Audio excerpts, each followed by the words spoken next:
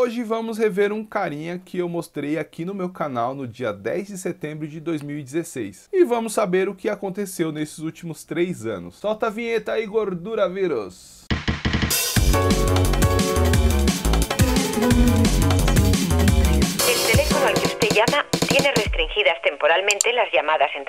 Meu nome é Essias e seja bem-vindo ao canal Essias Souza.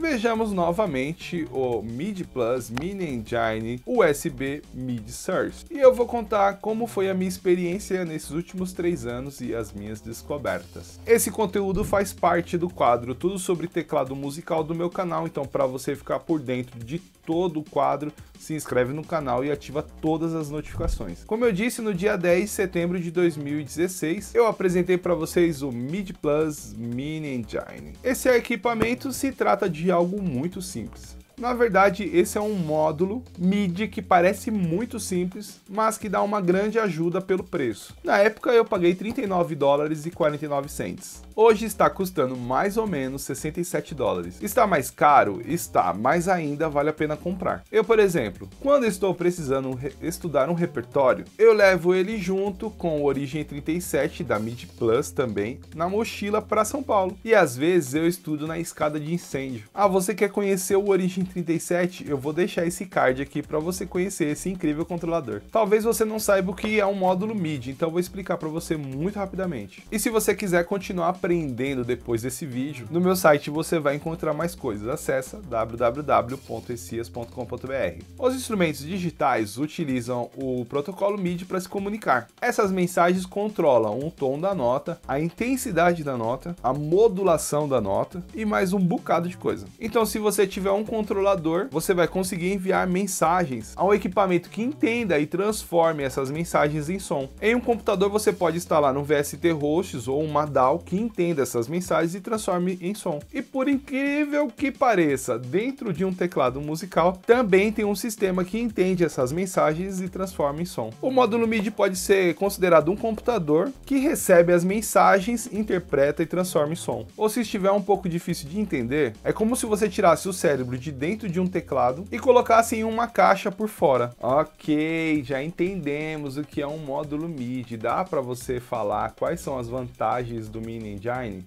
Sim, maluco doido, dá pra falar sim. Algumas dicas rápidas eu só posto lá nas minhas redes sociais, então me segue lá também. O MIDI Plus Mini Engine possui dois modelos. Este meu é o mais antigo e eu já falei do modelo mais novo aqui, no vídeo deste card. Como os outros produtos da MIDI Plus, o Mini Engine é um pouco simples, então não dá para esperar muito. E esse muito que sempre questionam é: não, ele não trabalha com layers, ou como chamamos de camadas. Não, não dá para colocar timbres nele. Não, não, você não consegue montar favoritos nele. Diante essa simplicidade, ele ainda conta com as seguintes vantagens. Tem 128 timbres GM, que dá para brincar demais, como é o exemplo do trompete, que é muito legal. A roda de seleção dele ajuda muito para você rodar entre os 128 timbres. Configurar o volume dele também é muito prático. Ele aceita os comandos de um controlador, usando as mensagens padrão, como é o caso do cutoff reverb, ataque etc. Dá para usar em qualquer lugar pela portabilidade. A bateria dele dura pelo menos um show, coisa de 3 horas tranquilo. Sim, a bateria dele além de alimentar a si próprio, também manda corrente pelo USB que alimenta o controlador. Até hoje, embora eu tenha ensinado como trocar a bateria, a bateria que eu uso ainda é original. A bateria dele é do tipo 18650, que é muito fácil de,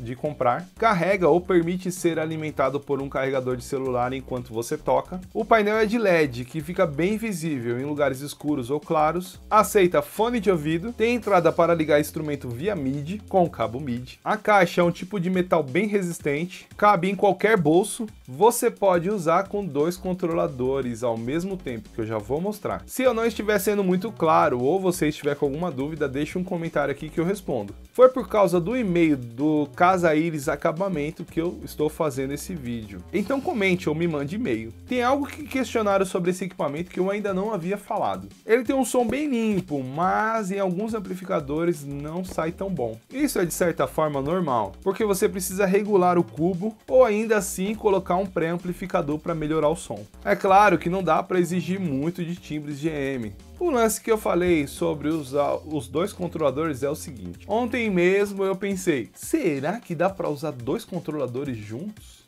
Mas Essias, para que você quer usar dois controladores com Mini Engine?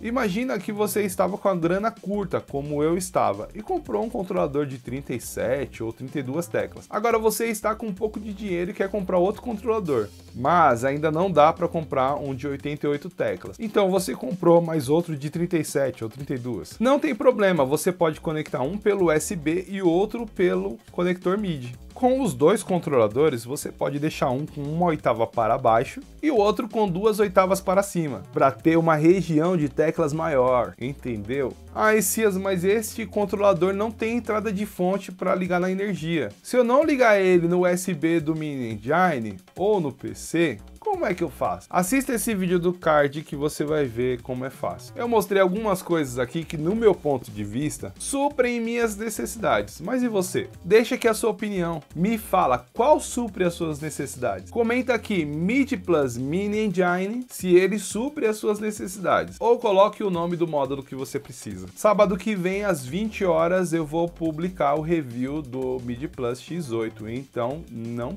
perca, viu? Se você gostou, deixa o seu like compartilha com seus amigos e favorita este vídeo em uma playlist. Eu vou aproveitar e vou deixar aqui onde você se inscreve no meu canal, aqui você acessa o meu site e vou deixar esses dois vídeos.